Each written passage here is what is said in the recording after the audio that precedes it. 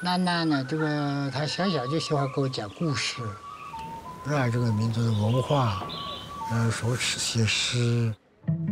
纳西族这个民族呀，这个的信仰是比较汉地那么传过来的，汉传佛教，藏传本教，藏传佛教。打电话了啊？完了啊！我与那些小因为呢，这些东巴老师是都都不在世了。但是，呃，很多年轻的经上了，所以还有。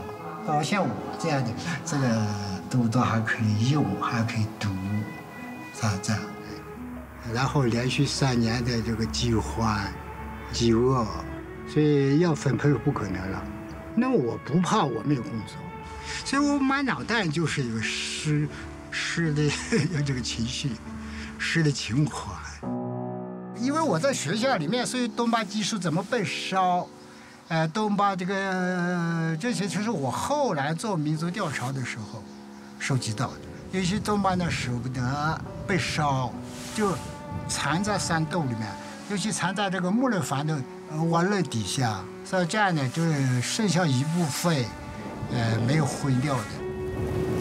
妈，我我不会说那些话的，嗯，那个会走得很远。我没有继承你的事业，那个走得很远。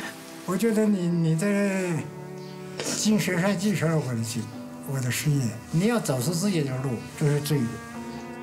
那叫那的寂寞，那的孤独。这个叫做妈妈树，我妈妈的树，然后这些呢都都伴随着我。我觉得这孤独的在沙漠在行走，在学术道路上，我要坚强的。走到最后的一天。